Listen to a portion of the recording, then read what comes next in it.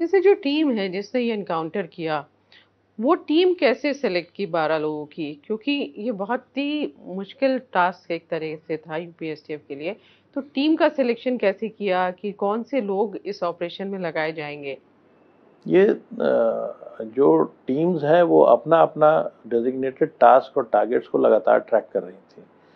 और जो, जिन टीम्स ने फाइनली टारगेट को ट्रैक किया वही उन्हीं टीम्स ने इसको फाइनली अंजाम दिया।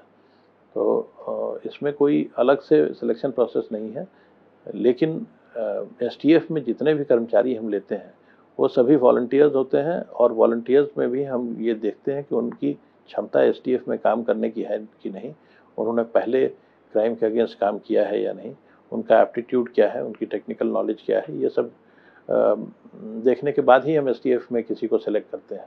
और यही कारण है कि एस टी एफ़ यूपी जिसकी टोटल सैंक्शन स्ट्रेंथ 800 से भी कम है, की स्ट्रेंथ को हम कभी भी पूरा नहीं कर पाते, क्योंकि हमारा सिलेक्शन क्राइटेरिया जो है थोड़ा ज़्यादा पिक पिक एंड चूज़ वाला है। हम किसी भी आदमी को, की काबिलियत को पूरा आंकने के बाद ही उसे सेलेक्ट करते हैं।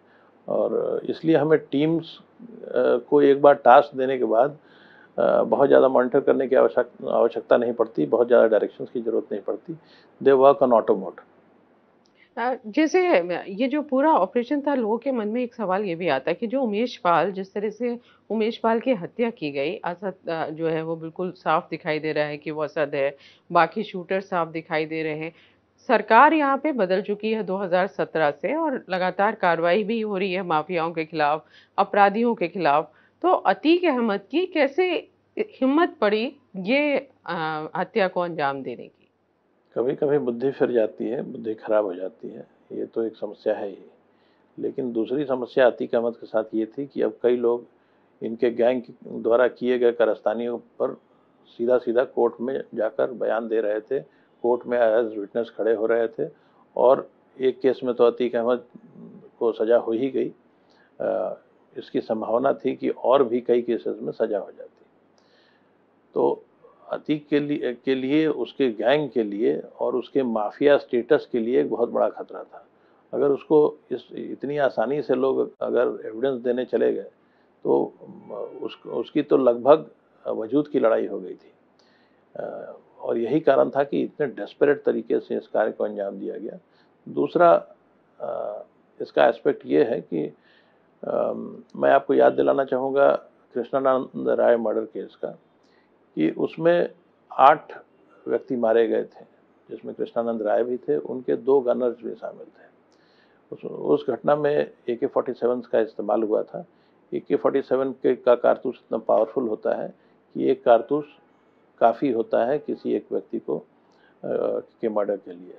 लेकिन वहाँ हर डेड हर बॉडी में लगभग सौ सौ कारतूस पंप किए गए थे। यानी ये एक मैसेज देने की कोशिश की गई थी और उसका असर हुआ भी था। उस घटना ने एक तरह से मुख्तार अंसारी को यूपी के क्राइम वर्ल्ड का नंबर वन टू टेन बना दिया था। जैसा हम पहले अमिताभ बच्चन जी के बारे में कहा करते थे कि वो बॉलीवुड के नंबर वन टू टेन हुआ करते थे। कोई भी अन्य व्यक्ति ग्यारहवें से शुरू होता था।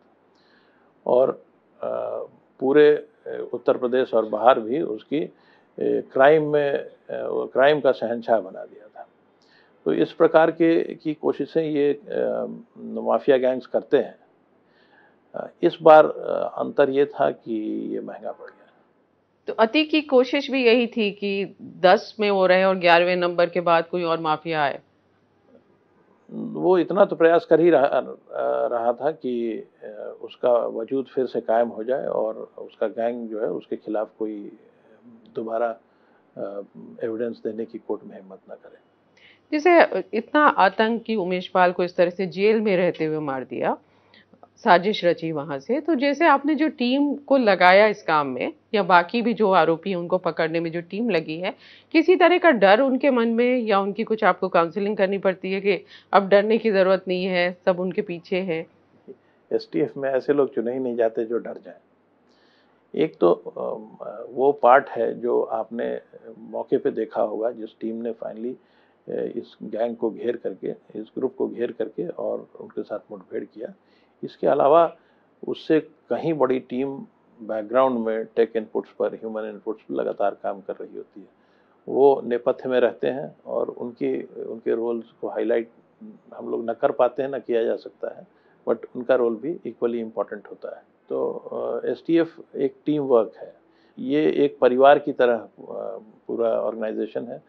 सभी लोग एक दूसरे के सुख दुख में शामिल होते हैं, एक दूसरे की मदद करते हैं और इसी कारण से बड़े ही वेल कोऑर्डिनेटेड टीम्स के रूप में भी फ़ील्ड में काम करते हैं। जैसे हम देख रहे हैं कि बहुत तरह की खबरें ऐसी आ रही कि अतीक अहमद जो है कोर्ट में रोया और उसने कहा कि उसकी वजह से बेटी की जान गई। तो अब आपको लग रहा है कि अतीक को समझ में आ रहा है कि उसने कितना बड़ा अपराध कर दिया। वो खुद से मान रहा है कि अपराध किया है उमेश पाल हत्या का। मैं इस इस फुटेज को मैंने देखा नहीं है कि उसने कहा कि उसकी वजह से गई। लेकिन अगर उसने ऐसा कहा है तो it amounts to an admission कि उसने ये घटना कराई है। हमारे पास और भी एविडेंसेस हैं कि उसने ये घटना कराई है। और उसके दोनों भाई ये दोनों भाई अतीक और अशरफ इसमें सीधे सीधे शामिल शामिल रहे। हैं इसके कई एविडेंसेस पुलिस के पास हैं। और बाकी एविडेंसेस पुलिस कस्टोडियल रिमांड में इंट्रोगेशन के दौरान भी प्रयागराज पुलिस और उनकी जो इन्वेस्टिगेशन टीम है वो अवश्य कलेक्ट करेगी। अतीक को ये ज़रूर लग रहा होगा कि इस घटना का कॉस्ट बेनिफिट एनालिसिस गलत हो गया। जैसे जो कस्टडी रिमांड ली, जो कोर्ट में कागज़ दिए, उसमें लिखा है कि जो दोनों भाई हैं आईएसआई से उनका रिश्ते थे, पाकिस्तान से हथियार आ रहे थे तो ये किस तरह के इनपुट आपको मिले हैं जो अभी तक जितना इन्वेस्टिगेशन हुआ है?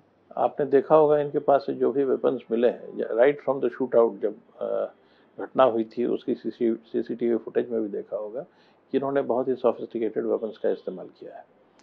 और कुछ दिनों पूर्व प्रयागराज पुलिस ने भी एक बड़े हथियार के जखीरे को बरामद किया था, साथ में अस्सी लाख रुपए कैश भी बरामद हुए थे। तो ये पूरा वेपन्स का जखीरा जो था, ये सब फॉरेन मेड वेपन्स थे। कल भी घटनास्थल से दो फॉरेन मेड वेपन्स जो बहुत ही सोफिस्टिकेटेड काइंड हैं काइंड के हैं वो बरामद हुए हैं। जिसमें एक ब्रिटिश बुलडॉग रिवॉल्वर है, जो एक बहुत ही अच्छा पॉकेटेबल और इजीली छुप जाने वाला रिवॉल्वर है, बहुत छोटे साइज़ का। और Walther P eighty eight pistol है जो यूरोपियन ऑरिजिन की एक बड़ी सोफिस्टिकेटेड वेपन मानी जाती है और यूरोप में लॉ इन्फोर्समेंट एजेंसीज इस, इस वेपन को इस्तेमाल करते हैं। इस प्रकार के वेपन्स जो हमारी जानकारी है कि पंजाब के बेस्ड कुछ आर्म्स स्मगलर्स इन्हें सप्लाई करते हैं। कुछ अन गैंग्स को भी ये स्मगलर सप्लाई करते हैं। और ये सारे weapons across the border smuggle किए जाते हैं। कि किस तरह से स्मगलिंग होती है? क्या ड्रोन के माध्यम से पहले तो ये मैनुअली या छोटे छोटे बोट्स के माध्यम से स्मगलिंग होती थी। लेकिन अब ड्रोन इतना पोटेंट मीडियम हो गया है कि ड्रोन का इस्तेमाल इन कार्यों के लिए बहुत हो रहा है। अच्छा तो ड्रोन से पाकिस्तान से यहाँ लाए जा रहे हैं। जी हाँ अब तो ड्रोन इतने पोटेंट हैं इतने सस्ते हैं कि वो पिस्टल जैसी चीज़ों को उठाकर 15 किलोमीटर दूर एग्जैक्ट एक खास स्पॉट पर गिरा सकते हैं। और इसमें कोई ख़तरा भी नहीं है, कोई कोई लॉस का चांस भी नहीं है। ये ड्रोन 10 से 15 फीट ऊँची ऊँचे उड़ेंगे और ये कहीं से रात में कोई डिटेक्ट भी नहीं कर पाएगा। सिर्फ़ उतनी ही आवाज़ होगी जैसी एक पास से एक मौत के गुजरने से होती है। तो इन्हें डिटेक्ट करना अत्यंत मुश्किल होता है और ये जो स्मगलर्स हैं और आईएसआई आदि भी बहुत बड़े पैमाने पर इसे इसका इस्तेमाल कर रहा है। इंडिया टीवी, हर वक्त, हर जगह। डाउनलोड करने के लिए सर्च करें India TV news, Google Play Store या एप स्टोर पर।